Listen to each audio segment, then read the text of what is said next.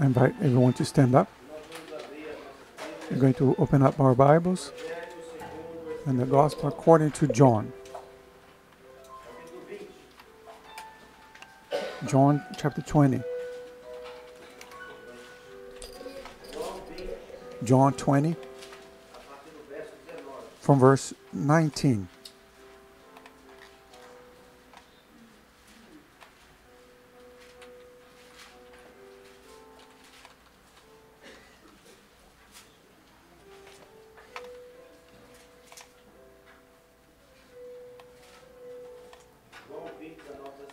John 20:19 says the following. Then the same day at the evening, being the first day of the week, when the door were doors were shut, where the disciples were assembled, for fear of the Jews, Jesus came and stood in the midst and said to them, Peace be with you. When he said that he said had said this, he showed uh, them his hands and his and his side, and the disciples were glad when they saw the Lord. So Jesus said to them again, Peace to you, as the Father had sent me, I also sent you. And when he had uh, said this, he breathed on them and said to them, Receive the Holy Spirit. If you forgive the sins of any, then are forgiven them. Then they are forgiven them. If uh, you retain the sins of any, they are retained. Now Thomas called the, the two, one of them, twelve, was uh, not with the, them when Jesus came. Then the other uh, disciples therefore said to him, We have seen the Lord. And, and 26, after, and after eight days, his disciples were again inside, and Thomas with them. The, Jesus came, the doors being shut, and stood in the midst, and said, Peace to you. Then he said to Thomas, Reach your fingers here, and look at my hands, and reach your hand here, and put it into my side. Do not be unbelieving, but believe, believing. And Thomas answered and said to him, My Lord and my God. Jesus said to, to him, Thomas, because you have seen me, you have believed. Blessed are those who are not seen and yet have believed.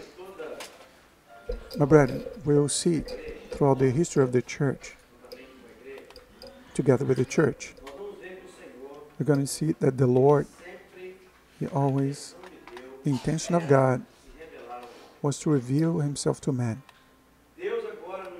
God now, in the beginning, he chooses a group, a small group, a man, a family, and from this family it becomes a nation. God now begins to operate in the midst of this people, of this nation, in order to show to the remaining, to show to the other nations that the God of Israel was the only living God. God now begins to operate in Israel in order to show that if man would be able to begin to depend on God, begin to trust in God, man would receive the blessings from God.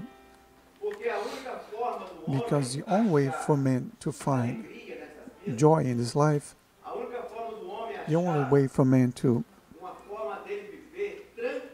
find a way for, for man to live in comfort, in peace, is to have God as the God of that person's life. And God now begins to operate in Israel, demonstrating his power, demonstrating his faithfulness, demonstrating his might, demonstrating his intention in order to reach not only Israel, but also to reach the entire humanity. And from the moment in which men in Israel began to trust in the Lord,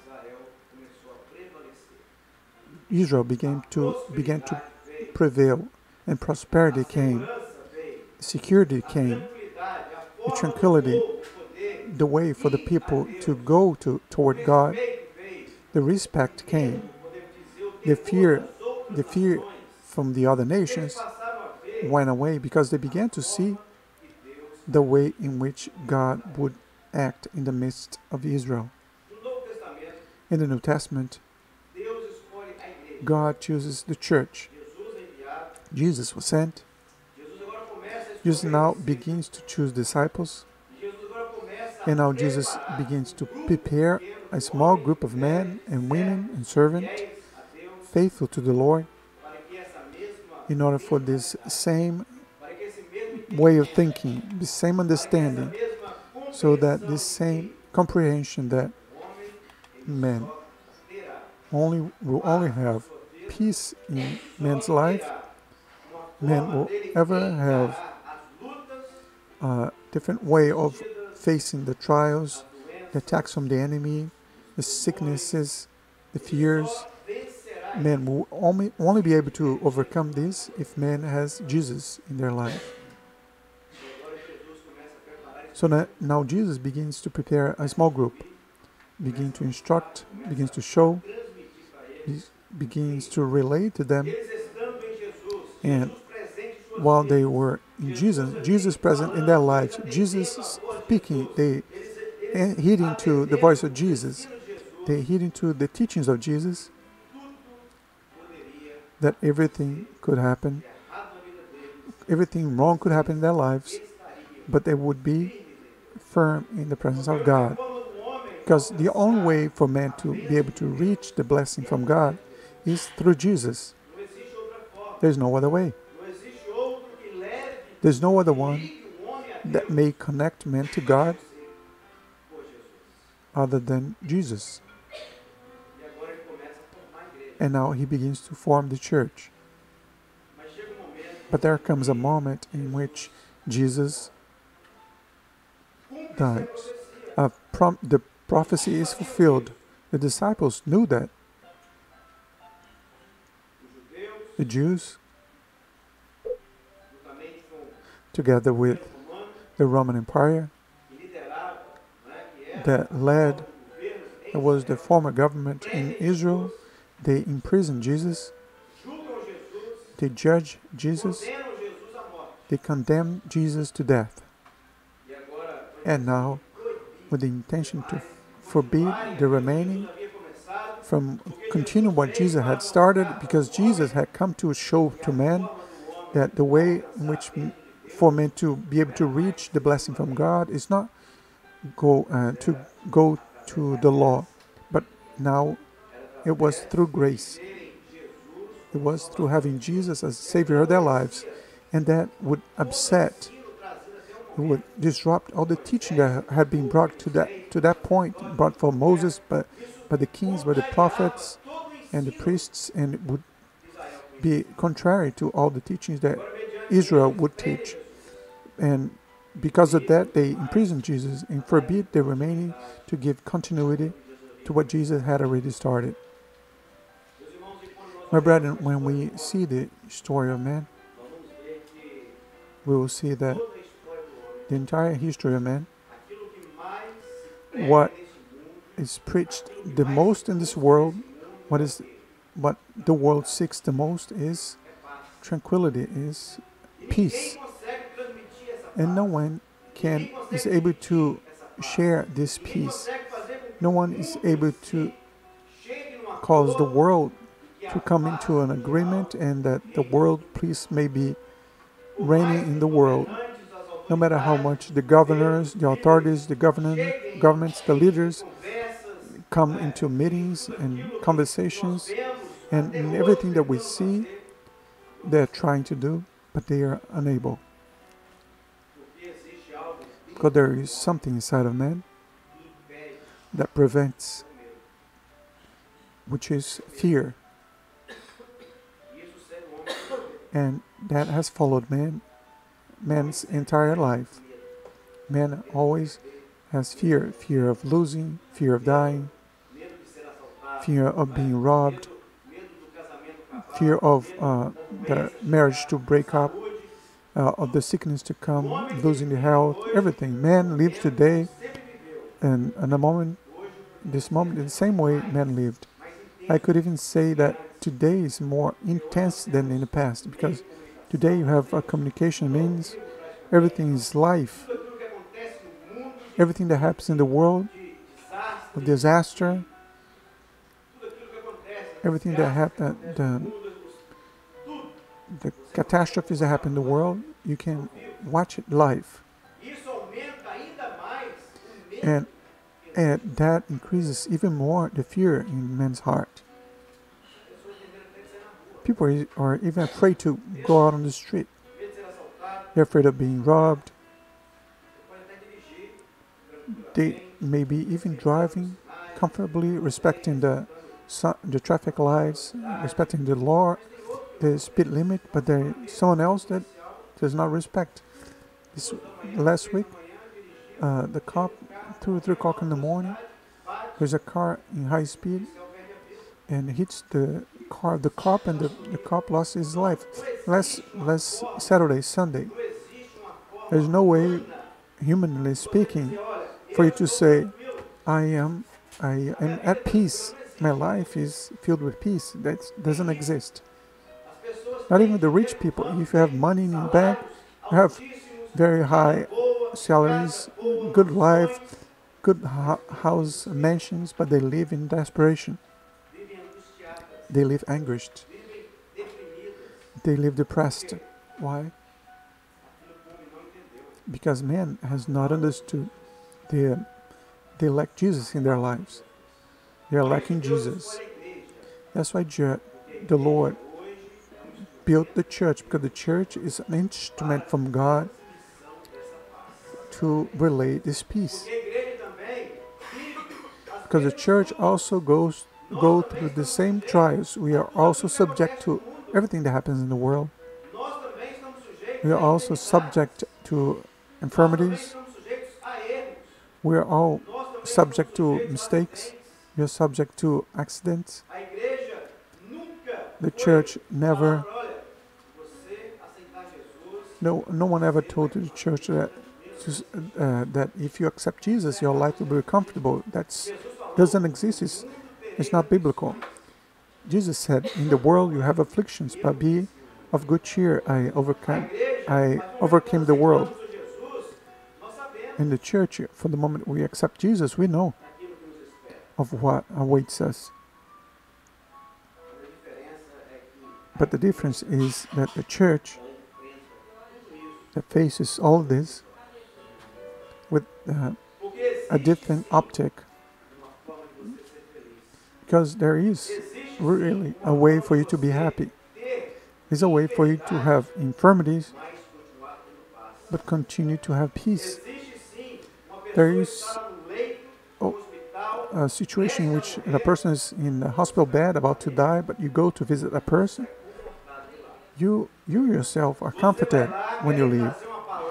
You go there to try to bring a word of uh, support and embrace, but you leave there feeling that you you are the one who were embraced. That's what is faith. That's what is to have peace. Person is unemployed, is in difficulty in, uh, in their daily lives but when you go to church, the person is there glorifying God and waiting for the Lord to open the door, waiting for the provision from God, waiting for the Lord to lay his hand and say, Oh, you are making effort, you are seeking, that's the door that I have opened for you. So there is, yes, there is a way for men to live in the world in which we are, but in in a different way than everything that we see up there. In desperation, anguish, suffering, disappointment, failure, because the Church of Christ is, is blessed. The Church of Christ is happy because God is present. That's why Jesus, in this moment, he says, when he comes in the midst of the servants there, Jesus had died. And the disciples now, they were with Jesus, their fear was if they kill the Master, if, if Jesus Himself, our Savior, was there crucified. I saw him being buried. If they kill him, how about us? What they are going to do with us? Imagine the fear that existed in the heart of those servants. That's why I say the church is not free from the difficult moments of this life. We are subject to all of this. The disciples that were with Jesus three days before, they were now going through a very difficult moment. So much fear. They were in a house with the, the doors closed. Imagine what, what they were talking about. Lord, have mercy. Deliver our soul. We trust in Jesus. Lord, have mercy. Give a blessing. And the word says that Jesus, when they were there, all, all there gathered except one. Thomas was not there at this moment. So then Jesus appears. Jesus on the third day he re- resurrects with a glorified body. Jesus appears to the disciples, to the church. And they were there in a house gathered, and Jesus appears in their midst. He didn't even knock at the door. If he knocked at the door, they would all die of fear. They were there already in desperation that anxiety being sought after by the Roman soldiers. Imagine if the Jesus knocked at the door, they would all faint. They're all four. But the word the Lord says that they, the Lord appeared in that midst. He went through the wall and went through the door and appeared in their midst and say and said, Peace be with you. I can imagine the face of those men when they saw Jesus. And they received this word. Peace be with you. Imagine, my brother, that's what God wants to teach to men. That's what God is coming to relay and bring to our lives. That's why the church of the Lord needs to be different. That's why the servant of God needs to be different. Because he is the one who relays this peace. We, can, we relay the peace of Jesus. The Lord has chosen us to bring salvation to men, to be preachers of this gospel, of this word, this wonderful eternal gospel, what God has left for us as a teaching. The only way for us to have a direction of how to please the Lord is through the word. And Jesus chose me. He chose you who entered here. And tonight, the peace that He gave to the disciples there 2,000 years ago is the same peace is maintained in the midst of the church. Because that's what God wants to do in our lives.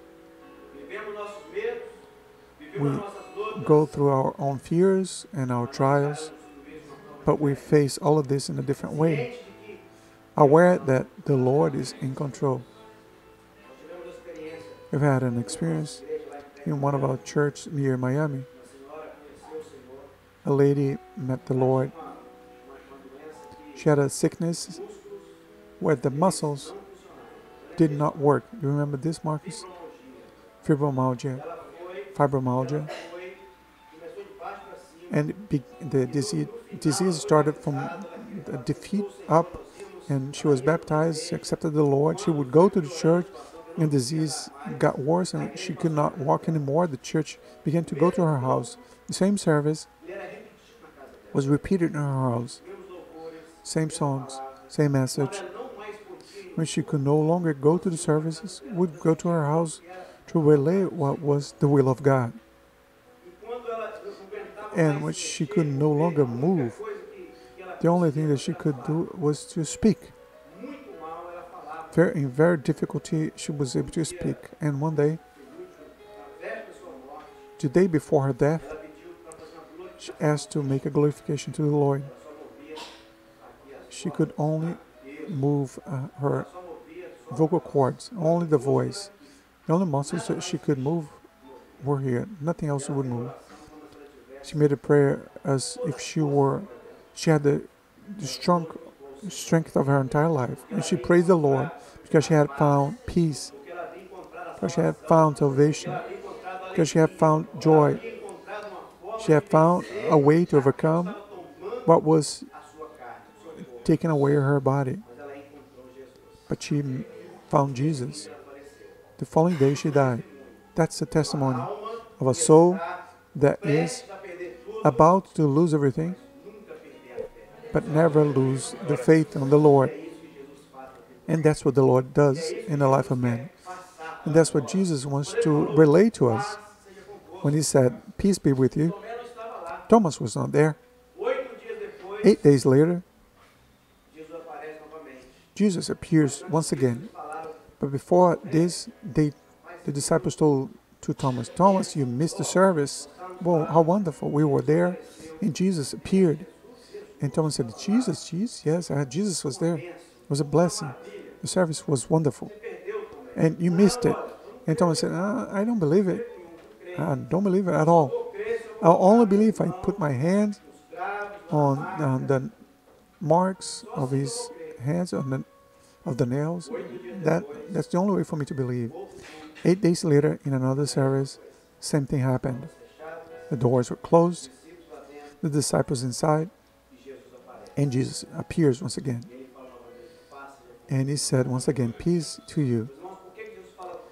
And my brother, why Jesus said peace to you? Because that's the assurance that we he wants us to have. He says, Do not be worried. Peace to you. It means that I will be with you. Salvation will be with you. The blessing of deliverance, everything that you need will be with you. Do not be afraid of what the world offers you. Do not be afraid. Because I will be with you. So then Jesus turns to Thomas and said, Thomas, you see my hands? Put your finger here on my hands. And surely Thomas put the finger there. What do you see on my hands? So then Jesus, Jesus asked Thomas to put the finger, and he also said, "Look at my hands." You know why? Because man, in order to believe in Jesus, to let go this this state of unbelief, I don't believe in God. This is uh, fantasy. Jesus didn't exist. This is a fairy tale. Man needs to touch in Jesus.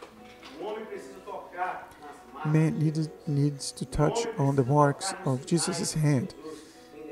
Man needs to touch on the side that Jesus has left in the church, in, in this life. The only way for man to touch Jesus is to touch on his body. Who's the body of Christ? Is the church.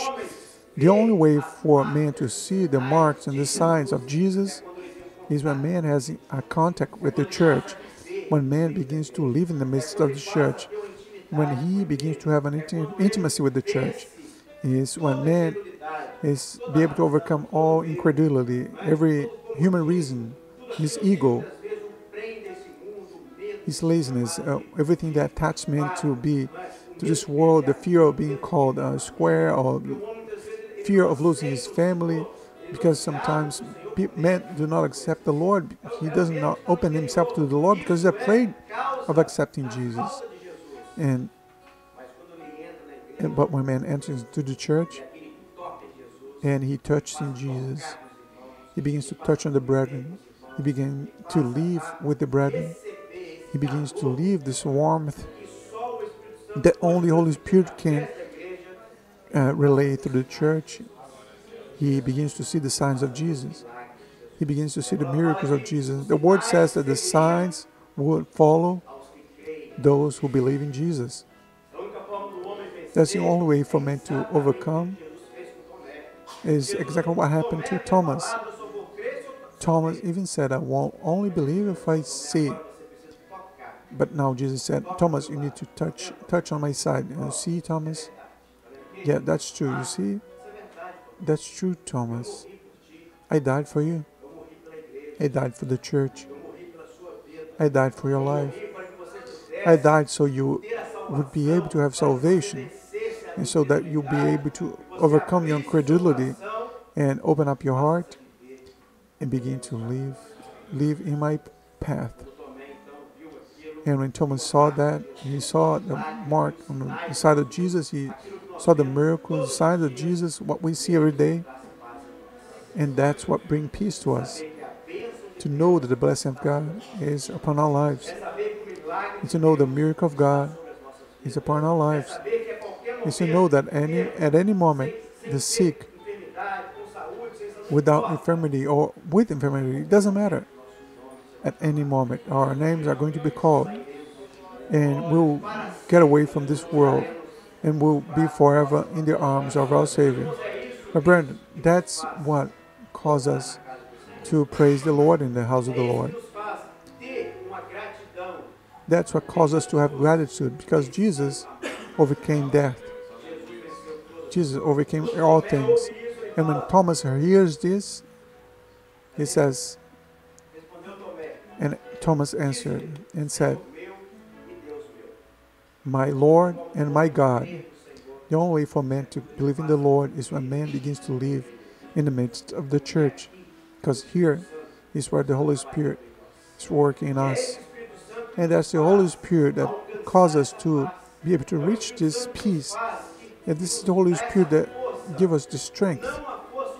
Not human strength, not the physical strength, but a spiritual strength that comes from above towards us, down to us, to reach our hearts. That's what faith is.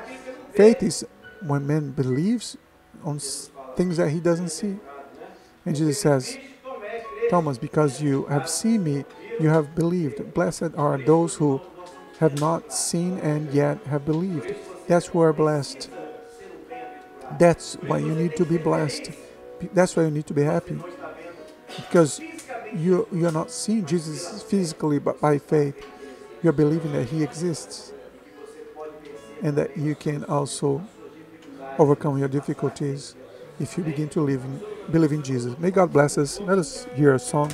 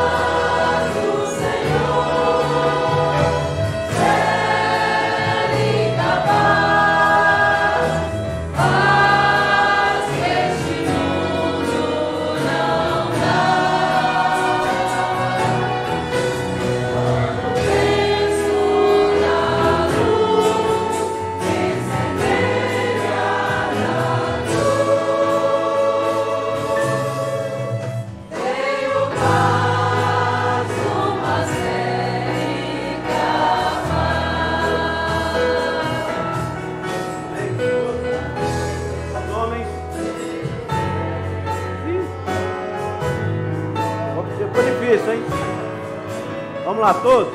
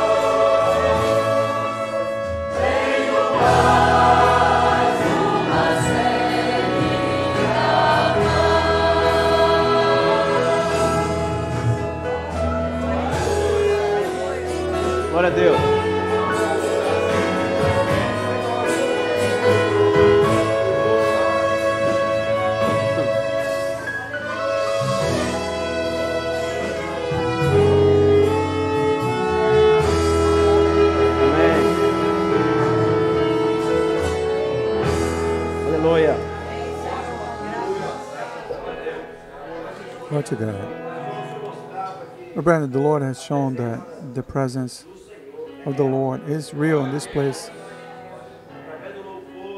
Through the praise and the glorification of the church, the Lord manifests, operating the actions of justice in our behalf to each one of us. Today, tonight, you were we're target of the mercy and the love of God. The Lord also has shown a woman entered here. She knows the gospel, she knows the church, she knows what she wants to do. And it's interesting that she only comes to the service when she feels that is necessary. She misses many services,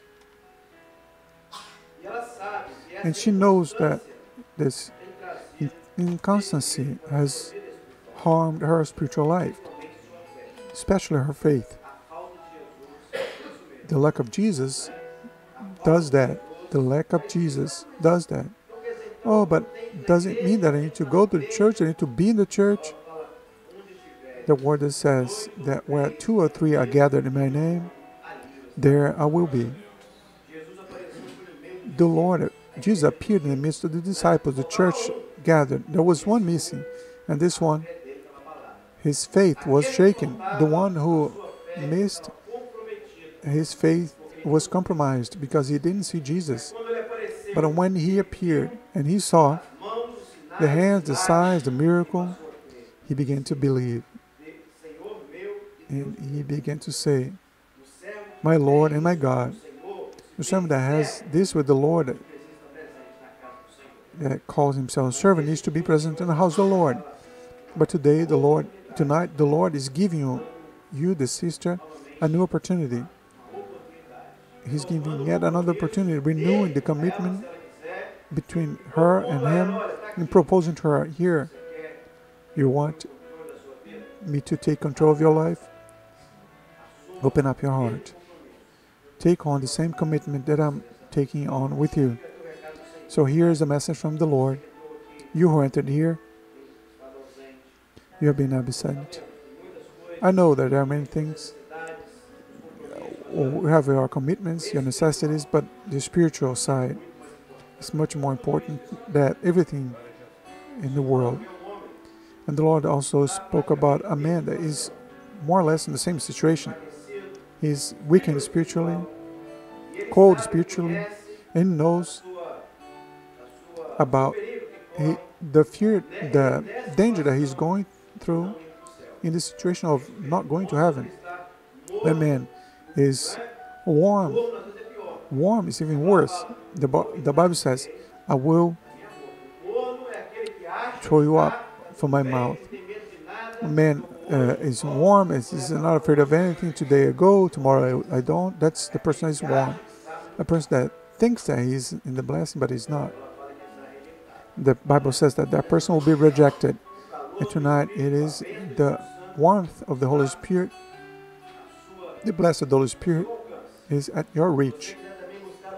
If you want to seek a renewal and commitment with the Lord, open up your heart and allow God to inhabit. We're, look, we're going to stand out and have a word of glorification to the Lord.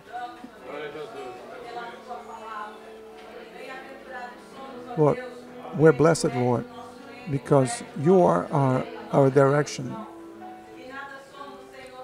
We're nothing, Lord, without you.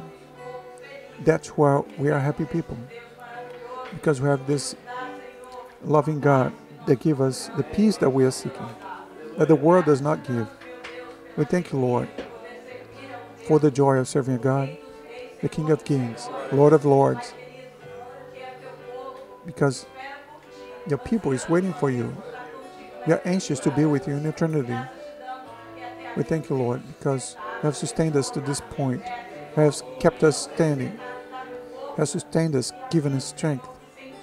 And what we feel when we praise you, Lord, you come to us,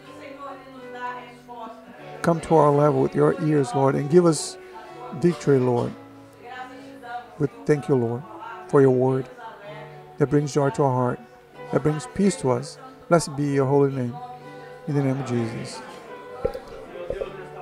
Lord God, at this moment, we ask that this service that was scheduled in heaven, this, the song sang, every prayer that was made, your word, that remain in our hearts, that we may never leave your house, Lord, in the same way we entered but that we may leave this place happy, with our hearts rejoicing in your presence, operate salvation, reproach, Lord, any incredulity and spiritual coldness, and that your Spirit may have access to each one who entered here tonight, and that you may operate a transformation, operate salvation, Lord.